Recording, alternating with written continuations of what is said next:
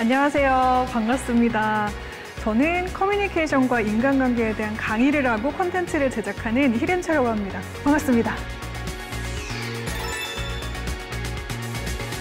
오늘은 이제 주제를 되게 재미있게 잡아봤어요. 어쩌다 빌런. 네. 이게 어쩌다 빌런이 된 이유가 있습니다. 우리 보통 빌런 하면은 나를 괴롭히는 빌런을 생각하기 마련인데요. 사실 빌런이 절대적이다라고 저는 생각하지 않습니다. 특히 사회생활이나 일상생활에서는요, 누군가에게 굉장히 좋은 뭐 히어로의 역할을 하는 사람일 수도 있는데, 나에게는 빌런일 수도 있죠. 그래서 일을 할 때 특히 일적으로 나를 방해하거나 나를 힘들게 하는 사람, 그리고 특히 대화하기 어려운 사람을 또 빌런으로 한번 지칭을 해봤습니다. 그리고 그 빌런은 절대적인 것이 아니라 받아들여지는 사람의 입장에서 빌런을 뜻했습니다. 나를 힘들게 하는 사람, 소통이 어려운 사람을 지칭했습니다. 이게 어쩌다가 내가 빌런이 되는 상황들도 있거든요. 그래서 그런 상황들에 대해서 그리고 우리 주변에 또 어쩌다가 빌런이 된 분들을 대응하는 다양한 방법까지 오늘은 쭉 다뤄보도록 하겠습니다. 첫 번째는 내 안의 빌런, 혹시 나인가? 점검해보는 시간을 가져보도록 하겠습니다. 자, 점검해보는 시간에 앞서서 우리 요거 한번 들여다볼까요? 네, 화면 보이시죠? 네, 대표적인 villain에 대해서 한번 생각을 해보려고 합니다. 하나는 이제 인피니티 워의 타노스, 그리고 또 하나의 villain은 영화 위플래시의 플래처 교수입니다. 타노스는 이거죠. 지구의 50%를 무작위로 없애서 정의를 실현하고자 하는 그런 좀 잘못된 신념을 가지고 있는 villain이라고 볼 수 있고요. 플래처 교수는 아주 혹독한 가르침으로 인해서 제자를 성숙시키고 성장시키려고 하지만 사실 굉장히 잔혹하고 극악무도한 트레이닝으로 인해 또 한 사람을 망칠 수도 있는 그런 빌런이기도 합니다. 그래서 지구의 입장에서 봤을 땐 사실 타노스가 빌런이 아닐 수도 있어요. 네, 지구는 아프고 힘들고 뭐 환경오염 입장에서 봤을 때는 꼭 과연 타노스가 빌런일까라는 생각을 한 번쯤 해볼 수 있을 텐데요. 플래처 교수도 마찬가지일 수 있습니다. 한 인간의 성장에 있어서는 때론 또 이렇게 혹독한 빌런과 같은 선생님이 계셔야 또 우리의 성장이 일어나기도 하니까요. 우리의 입장에 따라 어떤 입장에 처하느냐에 따라 빌런이 될 수도 있고 아닐 수도 있다. 그리고 나 역시 마찬가지다. 이런 이야기를 한 번쯤 해보고 싶었습니다. 내가 아무리 선한 의도로 이야기를 했더라도 이거를 상처를 받는 사람이 있다면 나 역시 누군가의 빌런이 될 수 있겠죠. 그래서 오늘 첫 번째는요, 나의 말을 점검해보고 본의 아니게 어쩌다가 내가 빌런이 되는 상황을 방지하고자 준비를 해봤습니다. 제가 갈취형이라는 이름을 붙여봤는데요. 네, 아이디어 회의할 때 나도 모르게 이런 분들 계십니다. 그 상대 아이디어인데 리액션을 하려다 보니까 나도 모르게 그 말을 받아요. 그런데 듣다 보면 본인의 아이디어인 것처럼 다시 설명하시는 분들이 계세요. 그러면 아이디어를 낸 입장에선 이런 생각이 듭니다. 어, 이분이 내 아이디어인데 은근슬쩍 갈취하려고 하시네? 라는 생각이 드는 말투가 있는데요. 예를 들어 저희 직원과 제가 회의를 하는 상황이라고 해볼게요. 아, 히렌처님 그 유튜브 땡 우리 채널 있잖아요. 채널명 말이에요. 히렌처님이 최씨니까 이 최씨성을 살려가지고 히렌체와 채널의 합성어인 히렌 채널이 어떨까요? 라고 제안을 했어요. 여기에 대해서 아무런 리액션 없이 제가 이렇게 대답합니다. 어? 희렌 채널, 아, 채널 좋다. 희렌 채널 어때요? 하고 제가 오히려 그걸 다시 묻는 거죠. 그럼 아이디어를 낸 상대방의 입장에서는 어떨까요? 이분이 내 얘기를 긍정적으로 reaction을 하시는 건지 아니면 본인의 아이디어라고 다시 생각해서 말씀을 하시는 건지 왠지 조금 묘해집니다. 요 갈취형 나도 모르게 상대방의 아이디어를 뺏어가는 듯한 말투를 조심하기 위해서는요 반드시 필요한 것이 있습니다. 네, 상대방의 말에 대한 긍정의 말을 먼저 해줄 것인데요. 아, 내 말이 그 말인데 라고 생각을 할지라도 일단 상대에게 공감을 먼저 해주고 아, 아이디어 좋은데요? 그러면 여기 이렇게 해서 히렌 채널이라는 이름으로 우리 같이 해볼까요? 라고 상대방을 인정해주는 한마디로 네, 상대방의 나도 모르게 갈취를 하는 것을 줄일 수 있습니다. 두 번째, 퀴즈형입니다.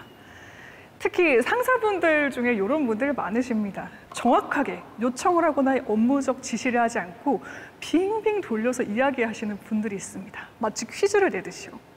예를 들어 제가 상사입니다. 근데 후배가 좀 업무를 좀 도와줬으면 좋겠어요. 그런데 대놓고 말하기엔 좀 눈치가 보입니다. 그래서 이렇게 말합니다. 아, 지금 너무 바빠 죽겠네. 아 누가 좀 나 대신 회의 좀 들어가 줬으면 좋겠는데 아, 이 자료 취합도 좀 해주고 막 혼잣말을 해요. 자 직원들의 입장에선 어떨까요? 이 팀장님이 그냥 푸념을 하시는 건지 혼잣말을 하시는 건지 아니면 업무를 도와달라는 건지 알 수가 없습니다. 그냥 눈치만 보다가 상황이 종료되죠. 네, 이럴 경우에는요, 양쪽 다 문제가 생길 수 있습니다. 팀장님 입장에서는 직원들한테 서운할 수 있어요. 말을 하는 사람 입장에서는 아니, 나 이렇게까지 눈치를 보는데 꼭 말을 해야 알아? 라고 생각을 할 수가 있고요. 직원들의 입장에서는 아니, 요청을 안 하셨으니까 알게 뭐예요. 괜히 또 얘기했다가 그냥 푸념하신 건데 내가 일을 덮었을 수도 있잖아요. 라는 또 입장이 각자 다를 수 있는 거죠. 그래서 특히 직급이 올라가실수록 본의 아니게 빌런이 되지 않기 위해서는 퀴즈형의 말투 대신 좀 웬만하면 적극적으로 이제 내가 명확하게 요청을 하는 연습을 해보시길 바랍니다. 네, 세 번째는 제가 이렇게 이름을 정해봤습니다. 모두가게 인형. 네. 모두가게 인형처럼 회의를 할 때 뭐든지 부정을 하는 분들이 있어요. 이분들이 즐겨 사용하시는 언어는 바로 이런 식입니다. 아니, 근데. 아, 그게 아니고, 이 부정형을 굉장히 좋아하시는 분들이 많으신데요. 사실은 뭐 한국인의 대표적인 말투라고도 할 수가 있죠. 아니로 시작하는 말투. 우리 모두 많이 씁니다. 이게 꼭 부정을 하려는 게 아닌 것 저도 알고 있습니다. 하지만 회의를 할 때, 적어도 업무적인 토론을 할 때만큼이라도 상대방이 의견을 냈을 때이 아니는 조심하시는 것이 좋습니다. 아, 팀장님 이 의견 어떨까요? 아, 아니 근데 그거보다 더 중요한 게 있을 것 같은데요. 아, 그럼 이건 어때요? 아, 지금 그게 중요한 게 아니고, 아, 그러면 이건 어떨까요? 아니, 네, 계속 이런 식으로 대답을 한다면 어떤 직원이 사기가 올라갈까요? 우리 모두 한번 들여다봤으면 좋겠습니다. 나도 모르게 대안 없이 상대방의 말을 반박만 하고 있지는 않은지요. 만약에 나도 모르게 이런 모두가게 인형처럼 부정형의 말을 습관화하셨다 하는 것 같다면요. 부정 후에 반드시 대안을 제시해 주실 것을 추천을 해드립니다. 적어도 대안이 있다면 이 사람이 싫어서 하는 게 아니고 습관적으로 반박을 하는 것이 아닌 정말로 이 의견이 별로여서 업무적으로 이야기를 하는 것이다 라는 생각을 상대가 할 수 있으니까요. 본의 아니게 빌런이 되는 또 다른 말투 유형은요, 바로 궁예형입니다. 되게 옛날 드라마인데 기억나시는 분들 많으시죠? 짐이 곧 신이다. 나는 모든 것을 통달하고 있다. 라고 생각해서 누가 어떤 말을 해도 다 알고 있다. 나는 다 알지. 음, 그럼, 그럼 하는 유형인데요. 역시 직급이 올라갈수록 이 궁예형이 될 확률이 굉장히 높습니다. 왜냐하면 사람의 마음이 그렇거든요. 후배들한테 모르는 것이 없어 보이고 싶어 합니다. 몰라도 일단 아는 척하고 싶어지는 게 사람 마음이거든요. 그러니까 팀장님도 사실 모르는 게 있을 수 있잖아요. 그러면 물어서 더 정확하게 해결을 하고 넘어가시면 참 좋을 텐데요. 계속 다 나는 맞다. 나는 맞는 얘기를 하고 있다. 라고 우기게 돼요. 따라서 같이 일하는 사람들이 속으로 생각합니다. 아, 저 팀장님은 도대체 무슨 생각을 하시는 건지 모르겠다. 무슨 말을 해도 본인이 다 맞다고 하고 불통이에요. 그래서 함께 일하는 사람을 본의 아니게 피곤하게 만드는 말투가 될 수가 있습니다. 따라서 나도 모르게 좀 궁예형처럼 내가 곧 진리다, 나는 틀릴 수 없다라고 생각하는 말을 사용하고 있는 것 같다면요. 이게 맞아요. 이거예요. 이렇게 하세요. 라는 말 대신 이 말투를 바꿔보시는 거예요. 어, 이렇게 해보면 어떨까요? 이 방법도 제안해드립니다. 사실 상대방에게 선택권을 주는 말 한마디 그 차이일 뿐인데요. 일을 하는 함께 일하는 사람 입장에서는 훨씬 더 본인에게 자율성이 주어진다는 느낌이 들어서 열린 느낌이 들게 됩니다. 이제 마지막은요 가장 힘든 유형이기도 합니다. 바로 꽈배기형인데요. 이런 분 만나보신 적 있으시죠? 아, 오늘 발표 정말 훌륭했어요. 아, 저번 발표는 별로였나요? 자, 네, 이렇게 대답을 한다면 어, 무슨 말도 하기가 싫어집니다. 대표적으로 조사를 잘못 사용하시는 분들이 계신데요. 예를 들어 이런 식입니다. 후배를 칭찬하고 싶어요. 그러면 어 이거 참 잘하셨어요. 고생하셨어요. 하면 되는데 나도 모르게 이렇게 말하면 아 이거는 참 잘하네. 네. 자 그러면 칭찬을 듣는 사람의 머릿속에 물음표가 가득해집니다. 이거는 잘한다? 그러면 다른 거는 평소에 못했다는 말인가? 어 이분은 나를 평소에 어떻게 생각하고 계신 거지? 뭔가 칭찬을 들었는데 살짝 마음속이 복잡해집니다. 특히 은, 는으로 대표되는 한정 조사를 조심하시는 것이 좋은데요. 한정 조사이기 때문에 이것만 잘한다의 느낌을 상대가 받을 수 있거든요. 말을 할 때는 그 말이 침묵 이상의 것이 되어야 한다라는 격언이 있는데요. 네, 내가 지금 하려는 이 말이 과연 침묵보다 나은지 한번 되뇌어보는 시간을 가져보셨으면 좋겠습니다. 말하기 전 길게도 아니 한 10초만 생각을 해보시면요. 이게 좀 답이 나옵니다. 대부분의 말들은 주어 담을 수가 없잖아요. 내 말도 주어 담을 수가 없습니다. 자, 여기까지 나도 모르게 빌런이 되는 이런 말투 유형을 알아봤는데요. 이런 분들 계실 겁니다. 근데 저는요, 생각보다 빌런이 아닌 것 같은데요. 저 이 말투 다 쓰고 있지 않아요. 네, 그런 분들을 위해서 두 번째 챕터를 준비했습니다. 이런 분들 계시지 않나요? 그러니까 빌런이랑 어떻게든 싸워서 이기고 싶은 분들이요. 혹은 이 빌런을 내가 어떻게든 살아남으면 내가 더 나은 사람이 되겠지 하고서 견디는 분들이요. 그런데요, 이런 부작용이 생길 수가 있습니다. villain이랑 싸우려다가 나도 모르게 villain이 되는 케이스예요. villain에게 싸워서 살아남으려다 보니까 나도 모르게 욕하면서 그 모습을 닮게 되는 거죠.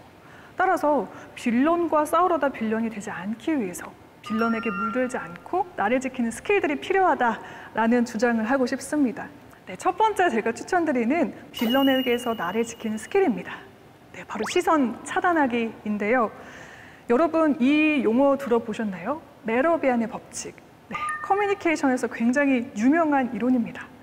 네, 대화에서 시청각 이미지가 말의 내용보다 더 중요시 된다는 이론을 뜻합니다. 생각보다요, 우리가 대화를 할 때 상대방에게 받는 이미지는 말의 내용이 크지가 않습니다. 여러분들 빌런과 대화를 하실 때는요, 가장 많은 영향을 받는 55%의 시각을 한번 차단해 보셔라 라고요. 제가 일을 할때 이런 선임을 만난 적이 있습니다.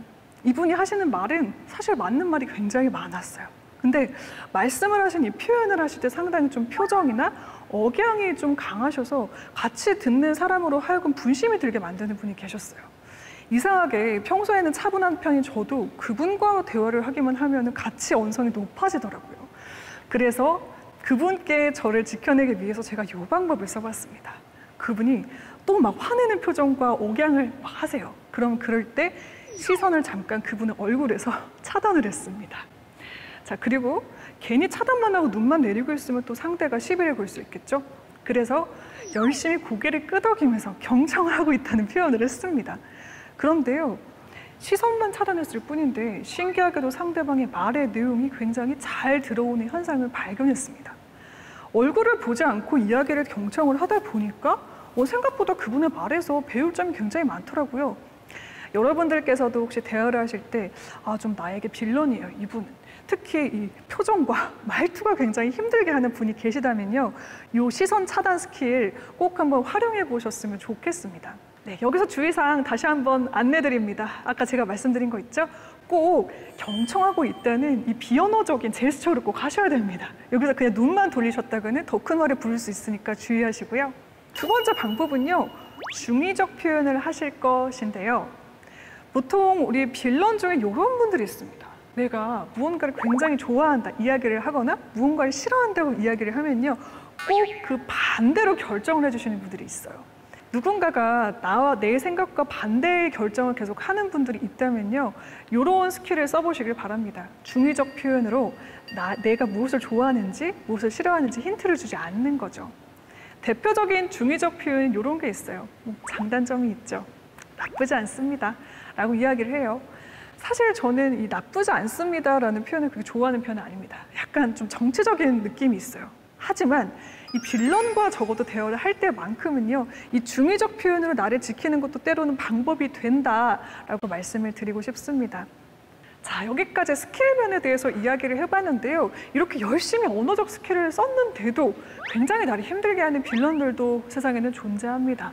그래서 열심히 사회생활을 하고 회사 생활을 하시는 여러분들께 이 세 가지를 제안 드리고 싶어요. 첫 번째는요, 빌런을 피할 수 없다 하신다면요, 그 빌런을 교사 삼아 보시길 바랍니다. 네, 저는 모든 사람에게는 정말 한 가지쯤은 꼭 배울 점이 있다라고 생각합니다. 그게 설령 빌런일지라도요. 그래 같이 있는 동안 이 한 가지 장점만을 배워서 나에게 적용해서 나를 성장시켜야겠다라는 생각을 해보시면요 적어도 빌런과 있는 시간만이 그렇게 괴롭지만은 않을 수 있습니다. 그런데 이런 말씀하시는 분들도 계세요. 아, 아니요, 이 빌런은 정말 장점이 하나도 없어요. 자, 그렇다면 절대 저러지 말아야겠다. 이렇게 반면 교사를 삼아서라도 교사를 삼아 보시길 바랍니다. 자, 두 번째 마인드셋 팁은요. 사람 경력을 쌓는다고 생각해 보시는 것을 추천을 해드립니다. 우리 보통 업무 경력은 굉장히 중요하게 생각을 하죠. 그런데 업무 경력만큼 사람 경력도 중요합니다. 이런 사람을 겪어내면 그 다음에 더한 빌런도 겪어낼 수 있다는 자신감이 생길 수 있는데요. 엄청난 빌런과의 이 싸움에서 내가 이겼다라고 생각되는 순간까지 한번 내가 사람 경력을 쌓고 있다. 그래 힘들지만 이분을 경력 삼아 내가 올라가자, 성장하자라고 생각을 하신다면요. 그나마 이 버티는 시간을 좀 유용하게 활용하실 수 있습니다. 제가 가장 좋아하는 방법입니다. 빌런에게서 나를 지키는 마인드셋 세 번째는요. 써먹기입니다. 네, 심리학 용어로 아주 아름다운 표현이 있어요. 승화. 근데 저는요, 승화라는 표현 굉장히 아름답고 좋지만 좀 왠지 빌런에게서 이제 승화라는 표현을 쓰기보다는 써먹기라는 표현을 써야 조금 더 통쾌한 느낌이 들어요. 그래서 저는 그 빌런들을 써먹어 보실 것을 추천을 해드립니다. 어떻게? 나의 성장이에요. 아, 내가 이렇게 힘든 빌런들을 어디서 또 만나겠어요. 이분들과 이 에피소드를 나중에 내 채널에 써먹어야지. 그래서 꼭 이거의 극복 방법을 전해드리는 사람이 되어야지. 라고 계속 마인드 세팅을 했습니다. 그랬더니 좀 통쾌하더라고요. 아, 그래. 이분들이 지금 당장 나를 힘들게 해도 언젠가의 나의 소재로, 뮤즈로서 네, 활용이 될 거야. 라고 생각을 했습니다. 여러분도 마찬가지입니다. 회사 생활에서 굉장히 어려운 분들을 만나셨을 때는요, 저처럼 유튜브 땡이 아니더라도요, 내 이 에피소드가, 이 무용담이 나중에 누군가에게 도움이 될 수 있다라고 생각을 하시면요, 아, 힘들어도 그래, 써먹을 수 있겠다. 라는 마음으로 좀 전환하실 수 있다는 거 말씀을 드리고 싶습니다. 여러분도 이제 빌런과 살아남을 때 아, 정말 이게 너무 힘들어서 탈출을 못 하시는 상황이고 공존을 하셔야만 된다면요. 이 써먹기, 승화의 기술 꼭 한번 활용을 해보셨으면 좋겠습니다. 훗날 여러분들께도 그 villain들이 고마운 존재가 될 수도 있으니까요. 지금을 또 즐겨보시는 mindset을 한번 바꿔보시는 것도 추천을 해드립니다. 그러면 우리 마지막에 오프닝의 villain들로 한번 돌아가 볼까요? villain에 대해서 생각을 전환할 수가 있습니다. 결국에는 어떻게 생각을 하냐에 따라서 villain이 나에게 도움이 될 수가 있습니다. villain이 있어야 영웅이 될 수 있습니다. villain이 있어야 그 영웅들이, 이 마블의 히어로들이 성장을 할 수가 있습니다. 우리의 삶에서 우리를 영웅으로 만드는 것은 결국은 villain들일 수도 있어요. 내 인생의 주인공에서 내가 감독이라고 생각을 해보시고 아, 내가 영웅이라고 생각을 했을 때 그래 이 villain들을 어떻게 다룰 것인가 이렇게 mindset을 바꿔보시기 마지막으로 추천드리면서 제가 가장 좋아하는 이야기로 마무리를 해보려고 합니다. 여러분 물벼룩이라는 존재를 아시나요? 이 물벼룩은 굉장히 생소합니다. 그런데 이 물벼룩은 인간과 동물에게 있어서 굉장히 고마운 존재예요. 바로 이 녹조를 먹어치워서 물을 정화시켜주는 아주 고마운 존재입니다. 그런데 이 물벼룩의 녹조를 어떻게 제거하는지는 우리에게 아주 큰 교훈이 되는데요. 보통 인간이나 동물에게는 큰 독이 되는 녹조를 물벼룩은 먹어치운대요. 그래서 체내 곰팡이를 제거하는 약으로 활용을 한다고 합니다. 오히려 이제 독이 물벼룩에는 약이 되는 거죠. 빌런이랑 대화를 하거나 일을 하실 때 너무 힘들다면요. 이런 생각도 해보셨으면 좋겠습니다. 오늘부터 나는 물벼룩이다. 이 독성으로 나를 성장시키는 약으로 활용을 해봐야겠다. 라고 생각을 해보시는 거죠. 나를 죽이지 못하는 고통은 나를 강하게 한다. 내 인생의 감독은 납니다. 나를 죽이지 못하는 모든 빌런들과 고통들은 결국 나를 빛나는 영웅으로 만들어 줄 겁니다. 이 말을 끝으로 오늘의 강의를 마무리하도록 하겠습니다. 감사합니다.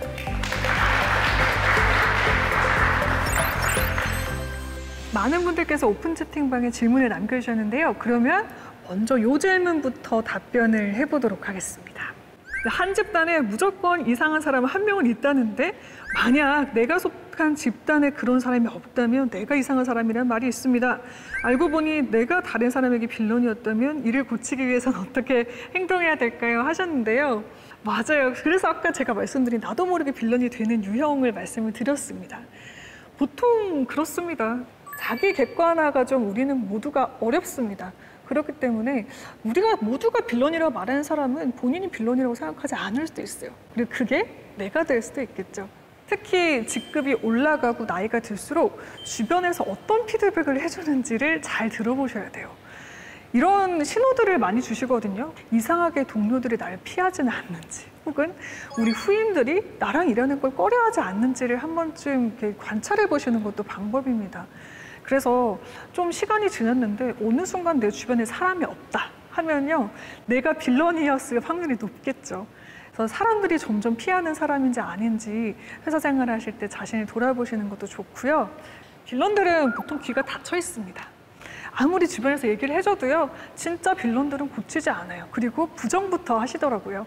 그래서 적어도 이런 질문을 주신 분은 네, 빌런이 되진 않을 수 있겠다라는 생각을 해봅니다. 자신을 돌아볼 줄 아는 사람은 성숙한 사람으로 계속 성장하게 마련이니까요. 반면 이제 귀를 닫아버리면 계속 빌런이 되고 고착화 되겠죠. 같이 일하는 동료가 빌런인 경우가 있는데요. 업무 외적인 부분에서는 빌런이 아니라 오히려 성격이나 아, 대화 부분에서 잘 맞는 사람이 있습니다. 공적인 부분에서의 행동이 사적인 부분의 점수까지 깎게 되는데 이 경우 상대방과 잘 지낼 수 있는 방법이 없을까요? 그러니까 한마디로 이거네요. 사, 사적인 자리에선 괜찮은데 일을 할 때 유독 빌런이다. 이런 분들에 대한 고민이신 듯 합니다. 저는 근데 그렇게 생각해요. 음, 일을 할 때 나오는 모습이 그 사람의 정말 본능적인 가장 그 본질이라고 생각을 하는데요. 왜 이런 분들 계시, 어, 나는 원래 아닌데 이럴 때만 예민하고요. 저는 일할 때만 까칠해요. 아닐걸요? 그분의 정말 본성일 거라고 생각합니다. 제가 그렇게 생각하는 이유는요. 우리 보통 일은 우리의 밥그릇이잖아요. 어떻게 보면 우리 밥그릇을 지키기 위해서 뭐가 나올까? 인간의 본성이 나오겠죠. 내가 숨기고 싶었던 가장 강한 나의 본성, 장단점이 가장 확실하게 드러나는 게 저는 바로 일터라고 그래서 생각을 합니다. 그래서 일을 할 때는 좀 별로인 동료가 있다면 아 평소에도 이런 부분에 이분은 정말 이게 가장 단점이겠구나를 염두에 두시고 이분을 대하시면 좋습니다.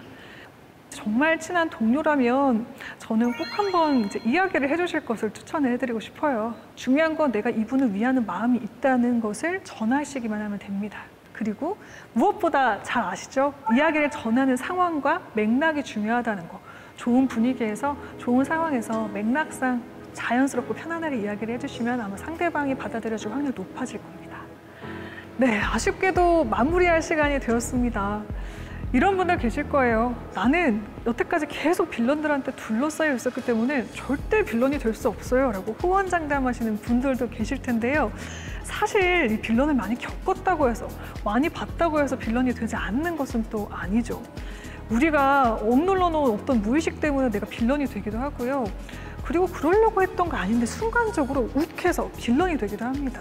이제 보통은 내가 좀 보살펴주지 못했던 불안, 불만, 욕구들이 빌런의 얼굴을 하고 드러낼 때가 많거든요. 내가 빌런이 되지 않기 위해서는 나 자신을 들여다보고 보살펴주는 것이 영순이가 되어야 된다라는 말씀을 가장 먼저 드리고 싶습니다. 이상으로 강의를 마치겠습니다. 감사합니다.